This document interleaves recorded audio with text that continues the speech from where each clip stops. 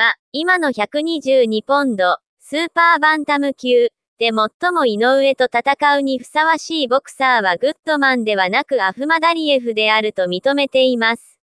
世界で最も優れたボクサーである井上が、これ以上私を待たせることは、不自然です。日本のボクシングファンに伝えたいことは、井上という素晴らしいボクサーを私が避けているわけではない。いつでも、どこでも挑みます。私はベルトをもう一度手にするチャンスを待ち続けています。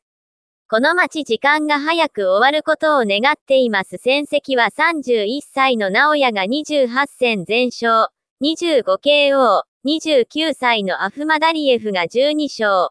9KO、1敗、25歳のグッドマンが19戦全勝、8KO、